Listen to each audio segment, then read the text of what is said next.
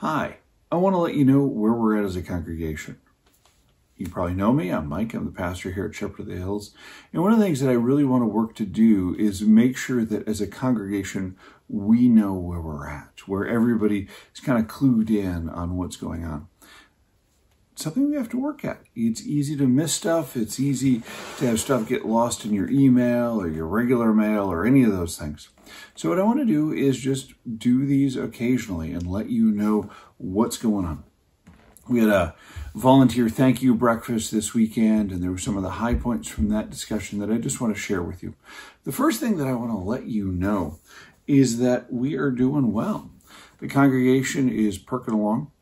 We have uh, attendance has been in person attendance has been around 224 over the last six or seven weeks. I realized that I had two Sundays that were normal before COVID hit. I was here like six weeks, but one of those was my first Sunday here. One of those was the installation, and then something else happened, and then COVID hit, and it's like, yeah. So for the average of those two normal weeks, we were at about 280. So 224 to 280, we're getting back where we were. Now it's important to remember that with everything that has happened since last March, when we hit 280 again, and I'm confident we're going to hit 280 again, it's not going to be the same 280.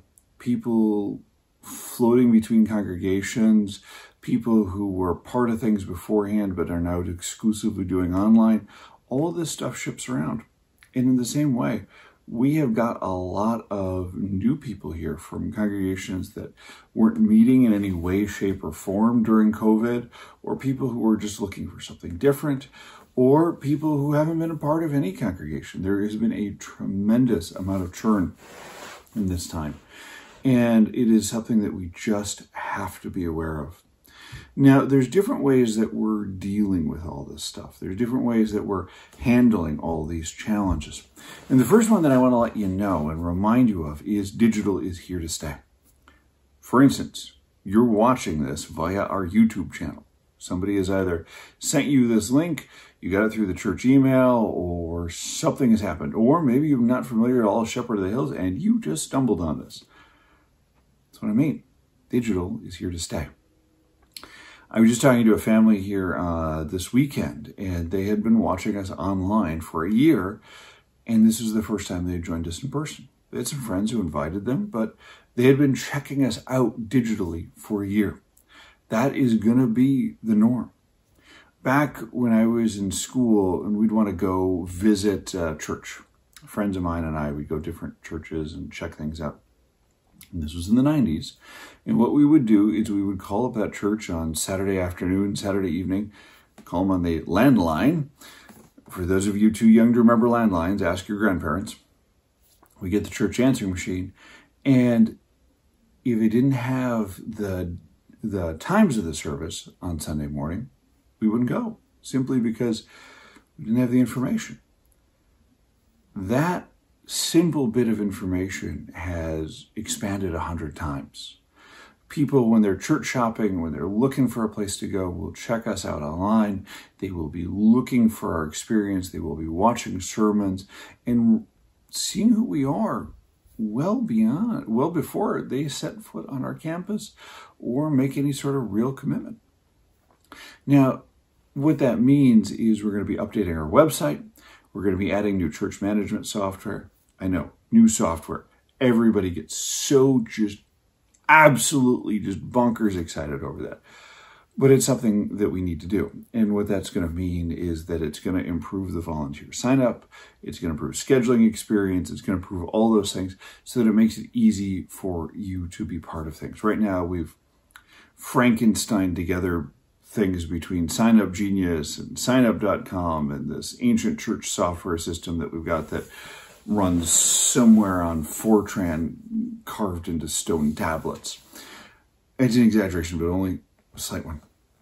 So what we're doing with that is you'll see more of that this fall. But what it'll do is will make it easy for you to be a part of things and not have to go through a bunch of hoops. We all know how it is where you're like, oh, I got to remember to do that. And it's like, oh, by the time you remember to do that and remember the eight steps, you're never in a place to do it at the same time you have the time to do it, at the same time you remember to do it. We want to make it easy for you. My goal in getting into a church software system is being able to sign up one of my sons for a confirmation retreat and pay for it in three minutes. I think we can do that. So, should make life easier for everybody. Certainly will for staff. Now, what I want to let you know is we're doing well. But part of that is making sure that we stay doing well. And one of the things that we're going to roll out this late summer, early fall is another church health assessment.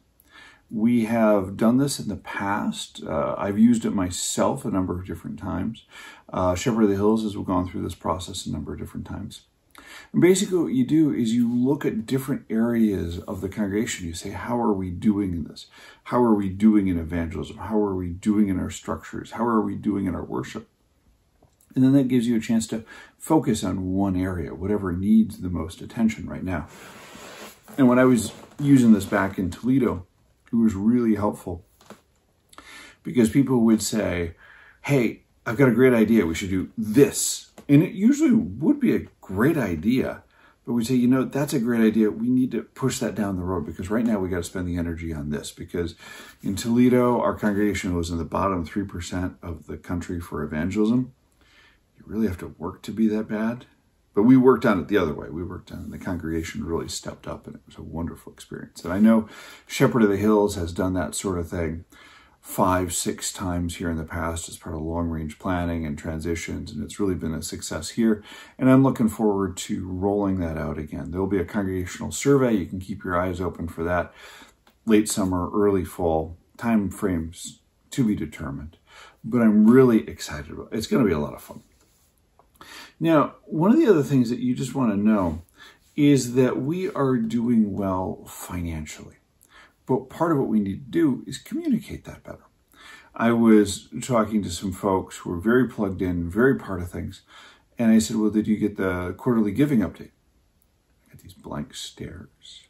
And what I said was, is, is we've been doing this thing where we send out with your quarterly giving statement uh, a nice letter saying, Hey, this is what we're how we're doing and because you give we've had this many kids in confirmation and and uh, and uh, you know we're able to do these things and we this many kids do first communion class and all these exciting things. And i started asking around and i realized nobody got this because it ended up in people's spam folder or like one person i only found one person who acknowledged they got it. And they said yeah i saw i got it so i just put it right in my text folder. I never bothered to read it. I'm like so what you're going to get is more communications. It might be more in this form of YouTube and video updates like this. It might be paper letters. We're still evaluating this stuff the best way, the most responsible way. But what we want to do is let you know how we are doing as a congregation. We want to keep things up to date for you.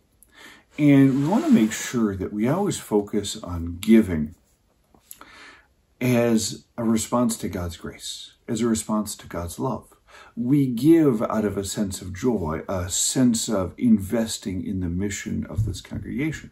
We give because God loved us first and we want to be a part of what He's doing here in Washington County. You've got plenty of places you could spend your money. You've got plenty of places you could spend on yourself. You can go out to eat. There's plenty of things you can buy for yourself new boats, new toys, whatever you want to do. And there's plenty of worthwhile charities that you can support here in Washington County. The Red Cross, Serenity Inn, all these things do wonderful things here. But we want to be this congregation and this place that focuses on spreading the love of Jesus here in this community. And as part of that, what we want to do is keep you up to date on what we're doing. If you don't know how we're spending the money, you shouldn't give. Just be honest with that. And so we want you to be able to see this, to understand this, understand what's going on. So keep an eye out for future updates. We're doing well. And just to make sure that everybody knows how we're doing well, uh, let me give you some of these updates. He's our Mark Nadowski, our treasurer, was kind enough to furnish me the numbers. Just so you know, uh, our total budget this year is 664,000 and change And our giving so far this year, as of, I think these numbers are from two weeks ago, but roundabout, our giving is up $5,600 or up 2% over last year. We have spent a little more than last year, but some of that is just timing of stuff, and we refinanced the mortgage. So there was an extra $35,000 with that and some repairs and some other things that were uh, not in the budget but had to be done. But we're looking good. And that's the big thing that I want you to know. A lot of people have very much the question of how are we doing? And first of all, I just want you to know we're doing well. We ended last year in the black. We did quite well. with giving a, was above budget for 2020. Excuse me, yeah, 2020, which in the middle of COVID and everything else, I was very pleased by. And this year we're above that. So we have just let's go to the next page here so I get all the numbers right. To give you an update, our mortgage balance is less than $668,000. Right now, we are about seven years away from paying that uh, off. Mark says seven years or less, and I'm not going to argue with Mark. And uh, what we do is we give about $60,000 and pay down that every year. That's a little above actually what our mortgage payments are, but people give extra, so it goes down faster, so we get that paid off sooner. Right now, we have about $500,000 and change in our savings between the regular budget and the mortgage. And so, what that means is we've got a nice cushion. It's, you know, we always got to have an emergency fund in case anything happens. We've got an emergency fund, and plus we can do more in case we run into difficulties, in case we're wanting to invest in future.